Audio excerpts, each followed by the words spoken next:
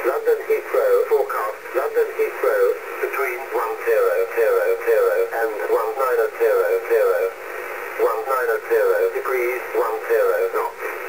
Visibility 10 kilometers. Scattered at 1,200 feet. Broken at 3,000 feet. Tempo between 1000 and